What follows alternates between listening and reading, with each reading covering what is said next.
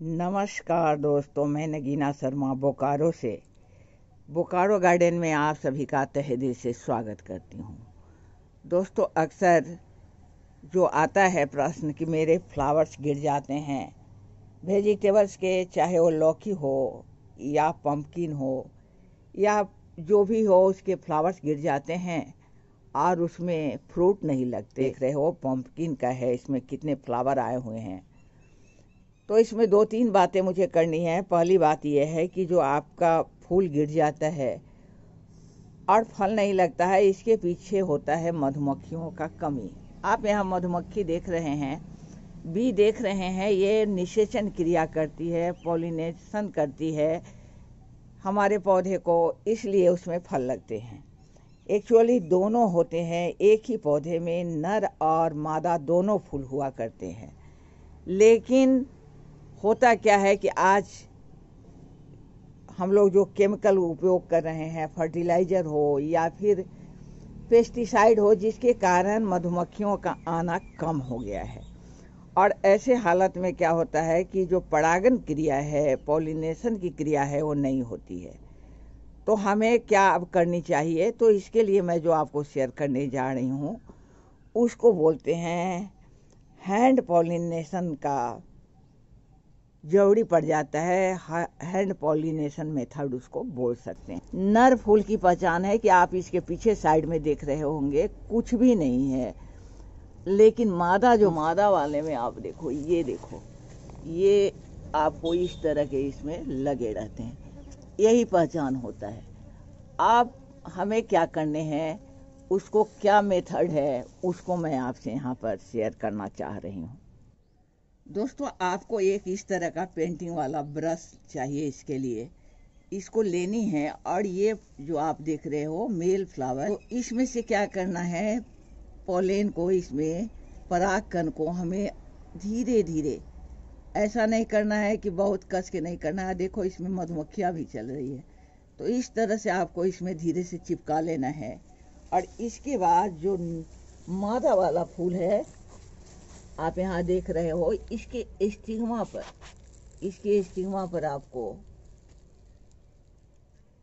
का मतलब आप अपने बगीचे में अगर लगाते रहते हो तरह तरह के फ्लावर तो मधुमक्खियाँ ऐसे ही आती रहेगी। फिर इसको दुबारे लेना है। आप दो, तीन बार, चार बार इसमें से हल्का हल्का टच करते हुए आप देखोगे, इसमें आप देख रहे होंगे कि पराग कण लग जा रहे हैं। ये दिखाई दे रहा होगा शायद, मैं छूना नहीं चाहती इसको। और इसको फिर से आपको, इसके स्टिग्मा पर स्टिग्मा आपको दिखाई दे रही है। इस पर आपको धीरे धीरे करके, ऐसे करके कर देना है।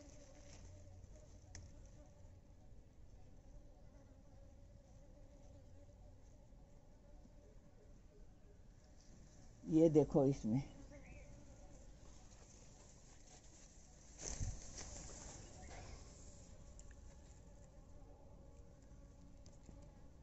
दोस्तों, मैं इसमें दो में कर रही हूँ। ये देख रहे हैं आप पराकन आपको दिखाई दे रहे होंगे। और यहाँ मैं इसके स्टिग्मा पर इसको धीरे धीरे करके आपको करने हैं। दबाव नहीं डालना है। इस तरह से तीन तीन बार मैंने दो में कर दिया है और इसको अब आपको इस तरह से आपस में जोड़ देने हैं, यानी बंद कर देने हैं। तीन दिन के बाद दोस्तों, देखते हैं इसकी क्या हालत है। इसीलिए मैं यहाँ लेकर आई हूँ। इसके फ्लावर्स इस तरह के हो गए हैं और देखते हैं कि इसमें इसका फ्रूट बड़ा हुआ है या नहीं हुआ है। ये देखो, इसके फ्रूट, अरे ये फूल भी निकल चुके हैं। फूल फूल इसको छोड़ चुका है और इस तरह से फ्रूट बाहर निकल गया है। तो इस तरह से ये पॉलिनेशन हैंड पॉलिनेशन इस तरह से आप कर सकते हैं। वाला फ्लावर है मेल फ्लावर की पहचान यही है कि इसके पीछे कोई फ्रूट नहीं लगा रहता है। इसके पोलेन को आपको धीरे धीरे करके इसमें से कलेक्ट कर लेना है। इस तरह से आप इसको कलेक्ट कर लो। और कलेक्ट करने के बाद इसको जो स्टिग्मा है फीमेल वाले फ्लावर के, उस पर इसको डालने हैं। ये पोलेन आपको नज़र आ रहे होंगे। इसमें हल्के हल्के छोटे छोटे नन्हे नन्हे पीले पीले कलर के।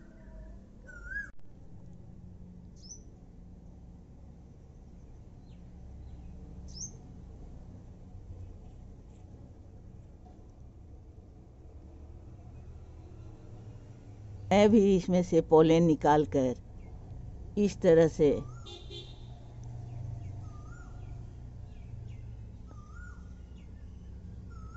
करके आपको ब्रश में हल्का हल्का टच कराते हुए इसमें पोलेन को निकाल लेना है।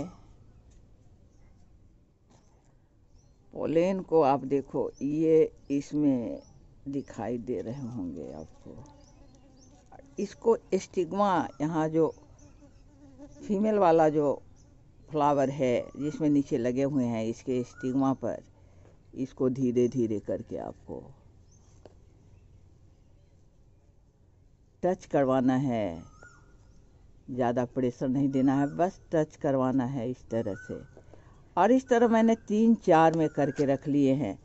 और उसको अब क्या करना है कि ढक देना है इस तरह से। इसके जो फ्लावर हैं, इसी से आप ढक दो।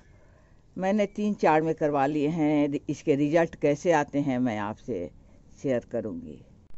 दोस्तों, पाँच दिन बाद के रिज़ल्ट आपके सामने यहाँ मैं आपको दिखा रही हूँ।